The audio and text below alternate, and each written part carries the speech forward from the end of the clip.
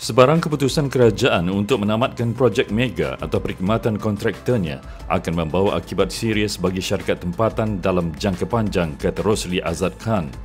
Rosli, seorang pakar pengangkutan berkata ada kemungkinan syarikat tempatan yang terbabit dalam tender kerajaan tidak mendapat sokongan diperlukan daripada pembekal antarabangsa dari segi teknologi dan bahan memetik keputusan kerajaan untuk menamatkan perkhidmatan kontraktor projek landasan berkembar Lembah Kelang sebagai contoh. Beliau memberitahu FMT syarikat-syarikat antarabangsa mementingkan penilaian risiko.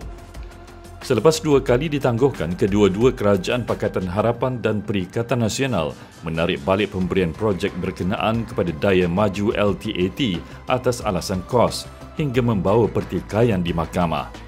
Ketua Pengarah Eksekutif Pusat Pendidikan Pasaran, Camelo Felito berpandangan kestabilan persekitaran perniagaan negara menjadi pertaruhan.